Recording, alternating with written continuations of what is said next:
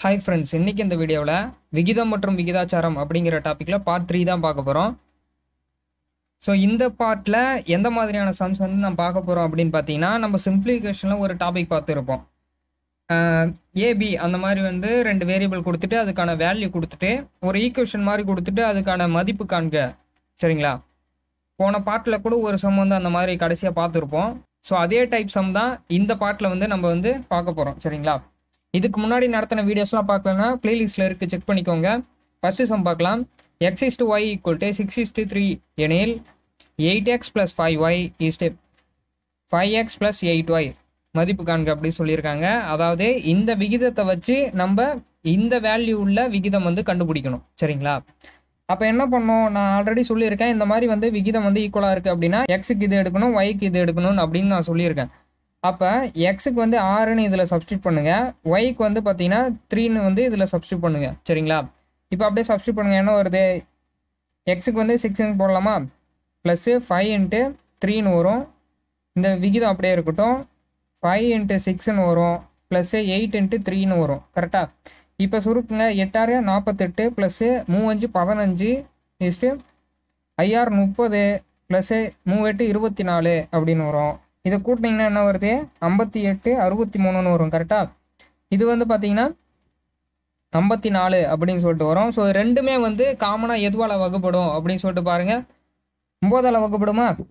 So ஒம்போதால் வச்சிங்கன்னா ஏழு ஒம்பது அறுபத்தி மூணு ஆறு ஒம்பது ஐம்பத்தி நாலு அப்படின்னு வரும் கரெக்டாக அப்போ செவன் இஸ்டு சிக்ஸ் தான் இதுக்கான விகிதம். புரியுதா? செகண்ட் சம் பாருங்கள் X by seven equal to Y by four எனில் ஸோ இந்த விகிதம் என்ன அப்படின்னு சொல்லிட்டு கேட்குறாங்க இங்கேயும் நம்ம எக்ஸுக்கு வந்து சப்ஸ்டியூட் பண்ண போகிறோம் ஒய்க்கும் சப்ஸ்டியூட் பண்ண போகிறோம் ஆனால் என்ன வேல்யூ எடுக்கணும் அப்படி பாருங்கள்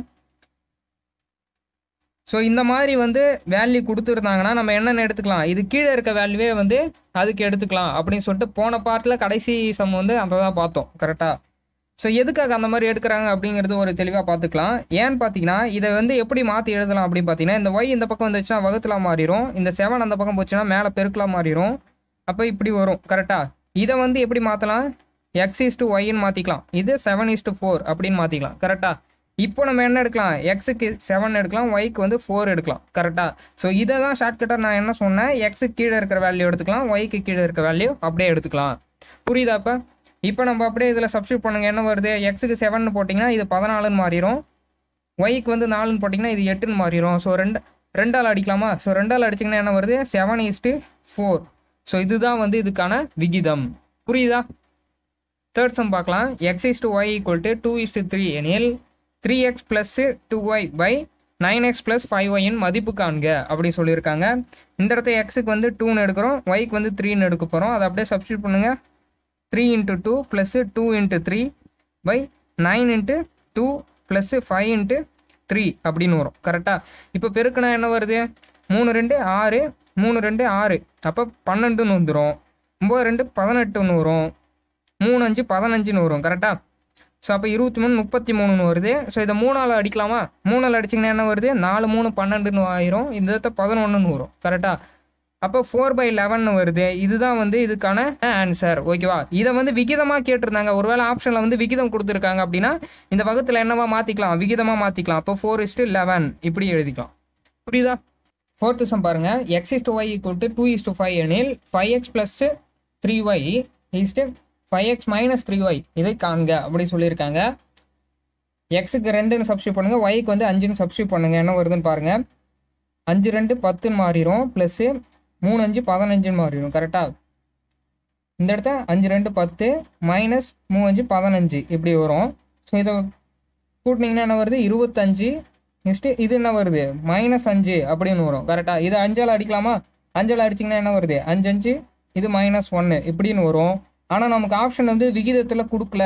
அப்போ இதை எப்படி மாற்றணும் இந்த மாதிரி விகிதத்தை நம்ம வகுத்தலாம் மாற்றிக்கலாம்னு சொல்லியிருக்கோம் கரெக்டாக அப்போ அஞ்சு பை மைனஸ் ஒன்னுன்னு வரும்.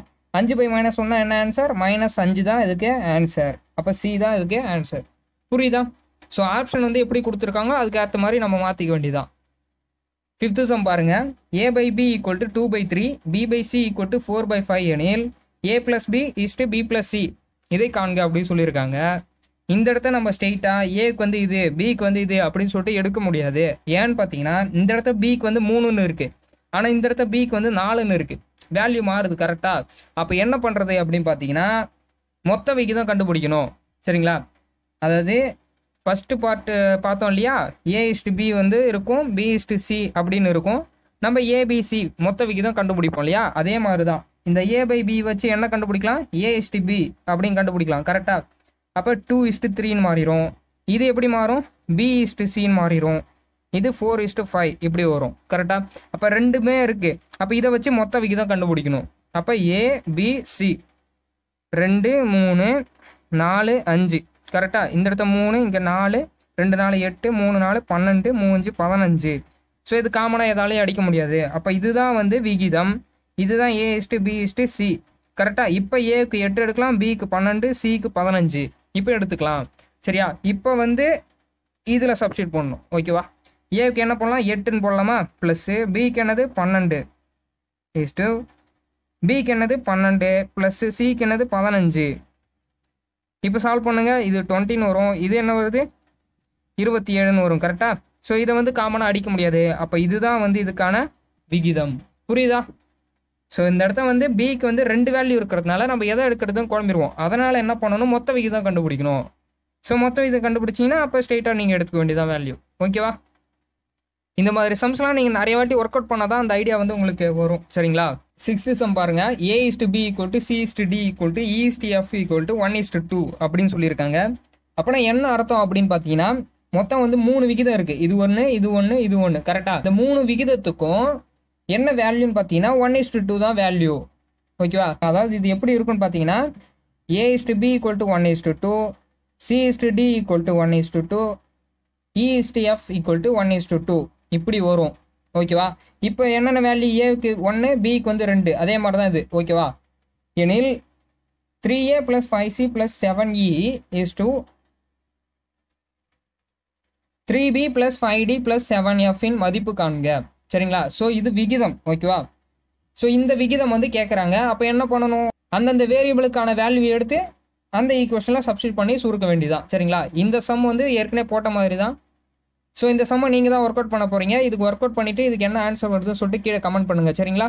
ஏதாவது டவுட் இருந்துச்சுன்னா கீழே கமெண்ட் பண்ணுங்கள் நான் ரிப்ளை பண்ணுறேன் செவன்த்து சம் பாருங்கள் A plus B is to B plus C is to C plus A equal to six is to seven is to eight மற்றும் A plus B plus C equal to forty two எனில் சியின் மதிப்பு என்ன அப்படின்னு சொல்லிட்டு கேட்குறாங்க so சியோட value தான் கேட்குறாங்க இந்த இடத்த விகிதமோ வேறு எந்த இதுவும் கேட்கல கரெக்டாக ஆனால் என்ன சொல்லியிருக்காங்க ஸோ இந்த விகிதத்தோட வேல்யூ என்ன வரும்?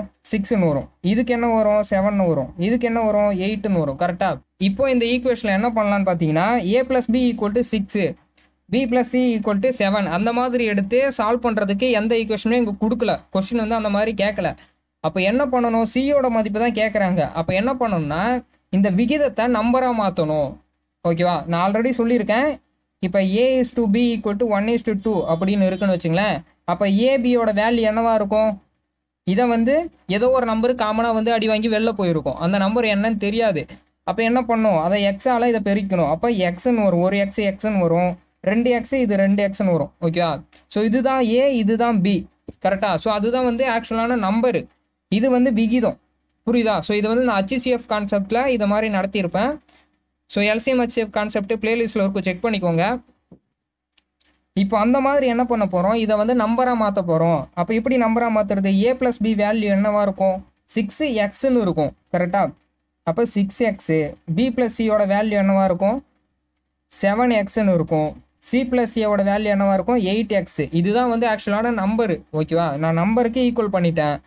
இப்போ என்ன பண்ணணும் அப்படின்னு பார்த்தீங்கன்னா நமக்கு A plus B plus C so இது மூணு நம்பரையும் கூட்டினா நாற்பத்தி ரெண்டு அப்படின்னு வரும்னு சொல்லியிருக்காங்க. அப்போ என்ன பண்ணணும்னா இது மூணு வேல்யூ கூட்டுங்க.